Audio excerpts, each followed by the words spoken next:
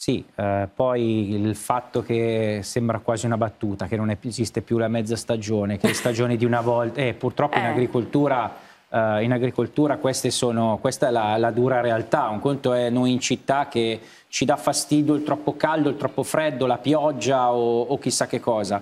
Eh, io mi occupo anche insieme al senatore Candiani, mi, occupo, mi sto occupando de- dell'agri- di agricoltura anche in Lombardia, qui abbiamo visto il Lazio, ma purtroppo ormai sta diventando un problema di tutta Italia. Eh, se vi ricordate ad aprile c'erano state le gelate, ad aprile quando le piante da frutta cominciarono ad essere in fiore, quando cominciarono ad esserci fiori per le api e quindi il problema del miele, eh, pensate al, alle viti nella, nella, basse, nella, eh, nel, diciamo nella, bassa, zona basso, eh, basso collinare eh, sono arrivate due notti di gelate che avevano messo a zero praticamente le produzioni di, eh, di uva e di, ehm, di miele, ahimè, di miele, eh, ma soprattutto di, di frutta.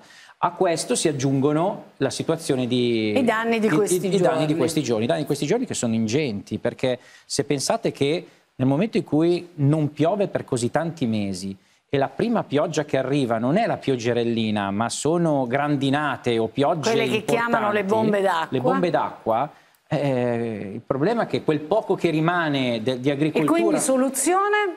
Un aiutino dello Stato? Perché la Battista so- è la sempre soluzione- quella, no? La allora, la soluzione, soluzione te in questo momento non Eh. può che essere quella se vuoi tenere in piedi le aziende agricole.